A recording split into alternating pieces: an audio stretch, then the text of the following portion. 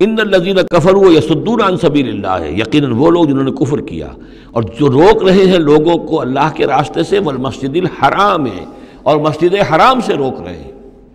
اب مسلمان یہاں سے جانے پر مجبور ہیں۔ یہ جوار اس اس اس کے جوار بیت اللہ میں رہتے تھے، یہاں سے چھوڑ کر جانے پہ مجبور ہیں۔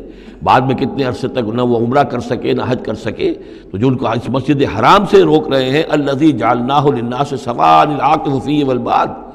اس گھر کو جو ابراہیم نے بنایا تھا، جس کو ہم نے تمام انسانوں کے لیے مساوی قرار دیا ہے۔ برابر ہے یہاں پر، چاہے یہاں کے رہنے والے مقیم ہوں اور چاہے باہر سے آئیں۔ یہ اصطلاحات ہیں آفاقی اور مقیم۔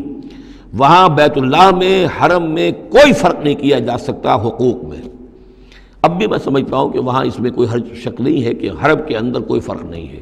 کوئی شخص باہر کا آ کر پہلی صف میں بیٹھ جائے، کوئی اسے زبردستی نہیں اٹھا سکے گا۔ یہ دوسری بات ہے کہ وہاں پہ شرطے وغیرہ جو ہیں ان کو رشوتیں دے کر لوگوں نے کو اپنی سیٹیں ریزرو کرا لی ہوتی ہیں یا کبھی کوئی جو وی آئی پیز آنے والے ہوتے ہیں ان کے لیے وہ خالی کرتے ہیں لیکن یہ عام طور پر یہی ہے آپ جس جگہ جا کر بیٹھ جائیں کوئی یہ نہیں کہہ سکتا کہ میں یہاں کا رہنے والا ہوں، مکی ہوں میں، یہاں سے میں بیٹھوں گا، تم یہاں سے اٹھو۔ سوان لا کے وفی والباد، برابر ہے۔